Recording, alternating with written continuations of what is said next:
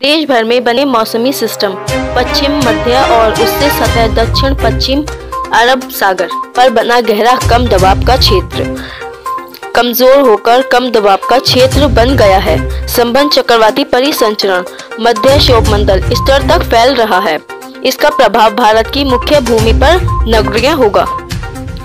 अरब सागर के ऊपर कम दबाव के क्षेत्र से जुड़े चक्रवाती परिसंचरण से एक तरफ़ रेखा उत्तरी महाराष्ट्र तट तक फैली हुई है।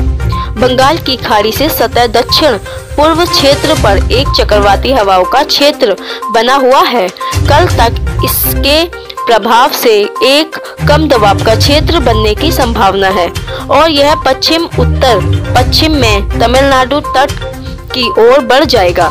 पिछले 24 घंटों के दौरान देश भर में हुई मौसमी हलचल। पिछले 24 घंटों के दौरान तटीय आंध्र प्रदेश, तमिलनाडु, केरल के कुछ हिस्सों अंतरिक कर्नाटक के कुछ हिस्सों और दक्षिण छत्तीसगढ़, तटीय ओडिशा, सिक्किम, पूर्व असम और अरुणाचल प्रदेश के कुछ हिस्सों में हल्की से मध्यम बारिश के साथ एक दो स्थानों पर तेज बारिश हुई।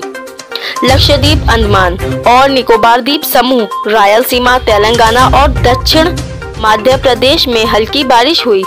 अगले 24 घंटों के दौरान मौसम की संभावित गतिविधि। अगले 24 घंटों के दौरान अंडमान और निकोबार द्वीप समूह, तटीय आंध्र प्रदेश, कर्नाटक के कुछ हिस्सों और तमिलनाडु में एक या दो स्थानों पर हल्की से मध्यम बारिश के साथ एक दो स्थानों पर तेज बारिश हो सकती है।